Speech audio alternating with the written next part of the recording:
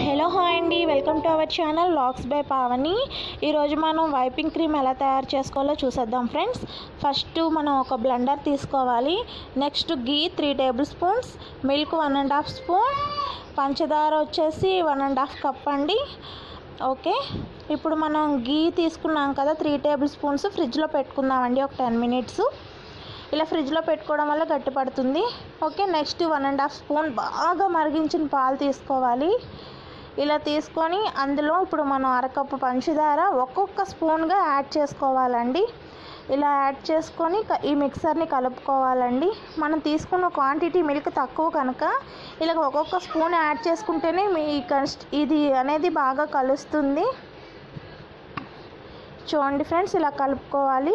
Hi friends ఎవరైనా first time మన video చూస్తున్నట్లయితే లైక్ చేయండి ఫ్రెండ్స్. Um, మీ ఫ్రెండ్స్కి కూడా షేర్ చేయండి. నెక్స్ట్ వచ్చేసి సబ్స్క్రైబ్ కూడా చేసుకోండి ఫ్రెండ్స్. గంట సింబల్ కూడా క్లిక్ చేయండి ఫ్రెండ్స్. నేను ఏమైనా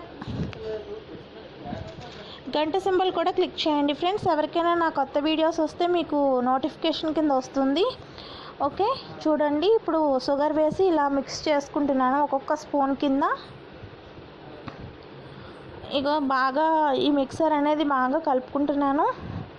చూడండి ఎంత బాగుందో ఇది. ఇలా ఇలా కలుపుకున్నాం కదా ఫ్రెండ్స్. ఇది పక్కన పెట్టేసుకుందాం. ఇంకో స్పూన్ యాడ్ చేసుకున్నాను. బాగా కలుపుకొని పక్కన పెట్టేసుకోండి ఫ్రెండ్స్. ఇప్పుడు ఫ్రిడ్జ్లో మనం గీ పెట్టాం కదా తెచ్చేసుకుందాం. తెచ్చేసుకొని బ్లెండర్తో మనం బాగా ఫోమ్ చేసుకోవాలి. చూడండి ఇప్పుడైతే మనకి ఇది గీ వచ్చేసి ఎల్లో కలర్లో ఉంది కదా.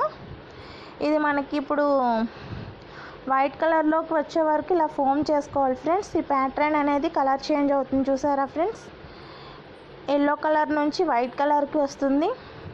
ఇదైతే చాలా హెల్దీ క్రీమ్ ఫ్రెండ్స్ మన ఇంట్లో తయారు చేసుకుంటుంది కనుక ఏ కెమికల్స్ గట్రా యూజ్ చేయం కనుక చాలా హెల్దీగా ఉంటుంది. పిల్లలు ఇష్టంగా తింటారండి.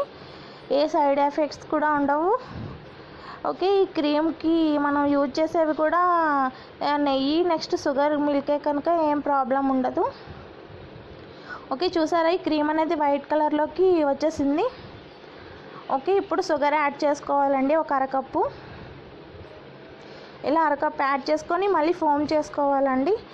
ఈ షుగర్ అనేది మనం చాలా మిక్సర్ చాలా అంటే చాలా స్మూత్లా గ్రైండ్ చేసుకోవాలి ఫ్రెండ్స్. వీలైతే జల్లించుకోండి. చాలా మనకి క్రీమ్ చాలా మెత్తగా రావాలి కనుక ఐ మీన్ సాఫ్ట్గా ఉంటుంది క్రీమ్ కనుక మనం ఈ షుగర్ పైన ఆధారపడి ఉంటుంది క్రీము. ఓకే ఫ్రెండ్స్ చూడండి బాగా కలుపుకున్న తర్వాత ఇప్పుడు నేను ఇందాక మిక్స్ చేసుకున్న మిల్క్ షుగర్ కూడా యాడ్ చేసేసుకున్నాను. అది యాడ్ చేసుకున్న తర్వాత చూడండి ఇది కొంచెం పలచబడుతుంది కదా. ఇప్పుడు బాగా కలుపుకున్న తర్వాత మిగిలిన మన హాఫ్ కప్ పంచదార కూడా యాడ్ చేసేసుకోవాలండి.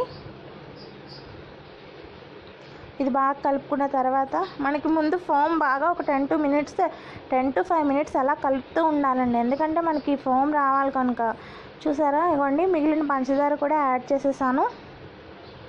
యాడ్ చేసేసి బాగా బ్లెండర్తో బాగా కలపాలండి. ఇది మిక్సీలో కూడా చేసుకోవచ్చండి. అప్పుడు మనం ఎక్కువ క్వాంటిటీలో క్వాంటిటీలో నెయ్యి గట్ట తీసుకోవాలండి. అప్పుడైతే మనకి ఇది వస్తుంది. ఓకే? ఓకే చూడండి. క్రీమ్ అయితే సాఫ్ట్గా వచ్చింది. ఒక టెన్ మినిట్స్ ఫ్రిడ్జ్లో పెట్టుకోవాలండి క్రీము.